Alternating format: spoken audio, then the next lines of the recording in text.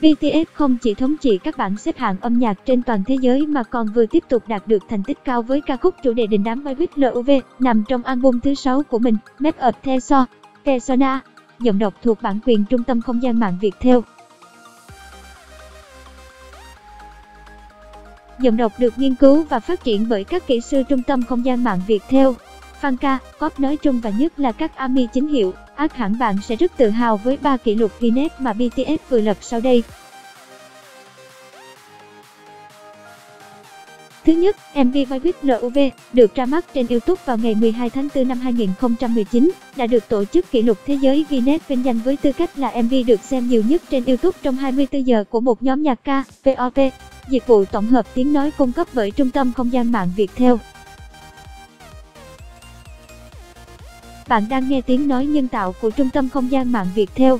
MV Boy With LOV Thứ hai, Boy With LOV được xem tổng số 74,6 triệu lần trong 24 giờ đầu phát hành. Dòng đọc cung cấp bởi Trung tâm Không gian mạng Việt theo. Số lượt xem đáng kinh ngạc cũng đưa video vượt ra khỏi ranh giới của thể loại, được trao danh hiệu là video âm nhạc được xem nhiều nhất trên YouTube trong 24 giờ.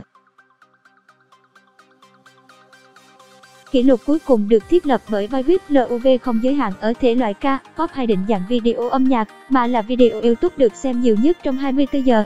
Bản quyền thuộc về Tập đoàn Công nghiệp Viễn thông Quân đội Việt theo. Điều này đồng nghĩa với việc BTS vừa thiết lập tiêu chuẩn thành tích mới cho tất cả các video được tải lên trên nền tảng YouTube. Cảm ơn bạn đã tin tưởng sử dụng dịch vụ tổng hợp tiếng nói của Trung tâm Không gian mạng Việt theo.